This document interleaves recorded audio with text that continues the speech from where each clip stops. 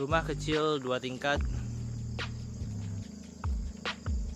Jadi yang bawahnya ini tingginya 2 meter sedangkan yang atasnya tinggi 3 meter. Untuk lebar untuk ruangan atas ini yang putih ini itu lebar 3 meter. Kemudian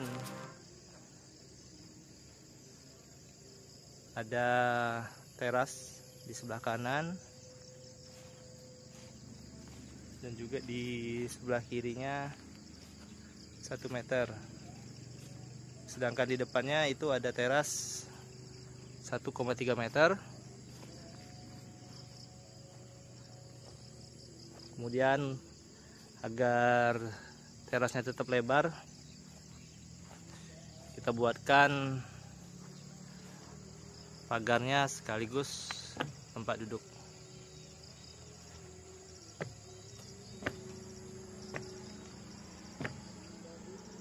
Oke ini teras atasnya.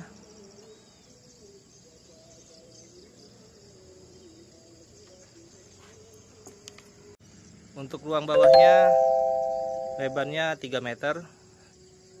Kemudian yang semen itu eh, kamar mandi sekaligus toilet dan juga sebelah kanannya ini dapur. Sedangkan panjang belakangnya 2 meter. Untuk bagian bawah sedangkan bagian atas panjangnya 4 meter.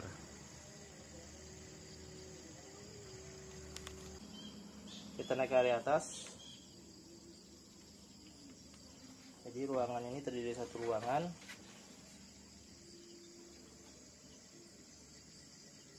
Yang bisa untuk dia berkumpul bersama keluarga dan juga tidur. Ini untuk uh, jendelanya kita pakai kertas dulu karena ada gorden ada ventilasi dan kipas angin. Dan juga ada instalasi listrik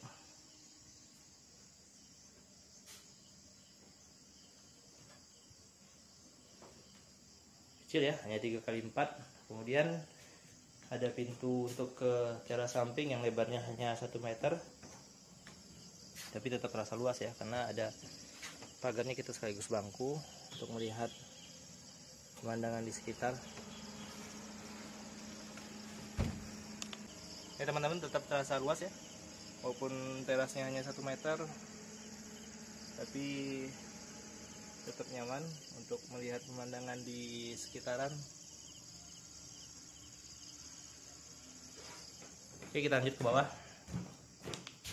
Kemudian di tiga, ruangan 3 4 ini ada tangga ke bawah. Menuju ke lantai bawah. Seperti tadi saya info lantai bawah ini terdiri dari dapur dan juga kamar mandi. Cuman dapur ini belum di prepare ya karena proses instalasi belum siap ya. Ini dapurnya. Tetap pasal lapang.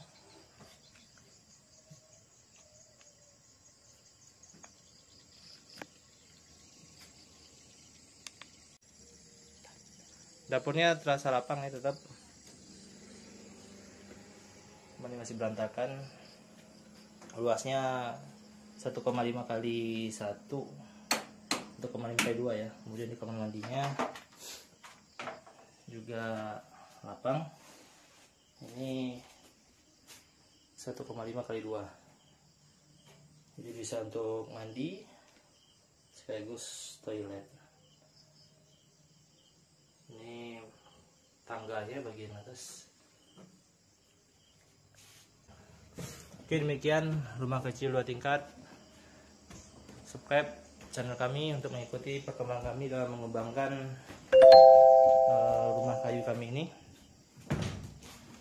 Bersama keluarga. Dan kalau mau melihat RAB nya atau cara membuatnya bisa lihat di video kami sebelumnya. Demikian. Assalamualaikum warahmatullahi wabarakatuh